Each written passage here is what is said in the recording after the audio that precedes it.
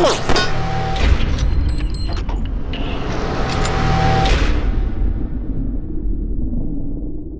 right, gang, here with Mike from Mr. Guns and Gear channel.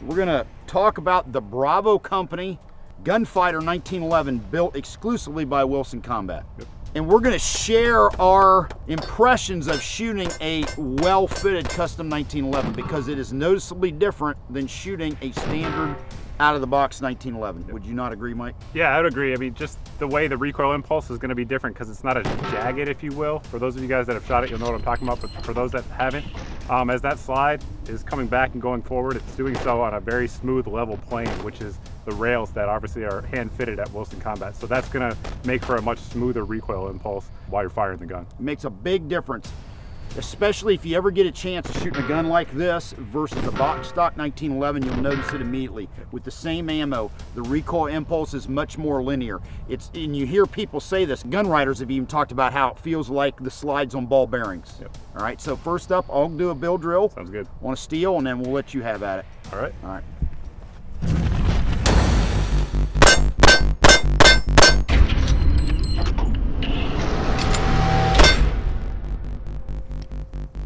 live with that?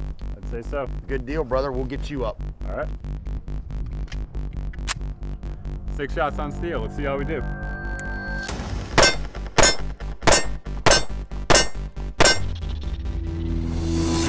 All right, no doubt about it. When you're actually firing that and you feel the recoil impulse, it's definitely smooth and it tracks back on target really well. Yeah, and you know, one thing that some people tend to overlook is, you know, a steel frame light rail 1911 does have a little bit more weight to it, so it is softens the recoil just a little bit more. Yep, it's gonna add a couple ounces right there on the front of the gun. So. Which is where, where it helps. Yep. If you're looking to get one of these, it's gonna be available from Bravo Company. Yep. Right now, I think 100 is ordered. Is that correct? It's a limited edition? As far as I know, 100 as of right now. Okay, and it's right around three grand or just under. Yep. So it's not gonna be cheap, but you get what you pay for. Now, make sure you take the time to subscribe to Mr. Guns and Gear channel as well as the Vickers Tactical YouTube and Full30.com channel. Have a good one.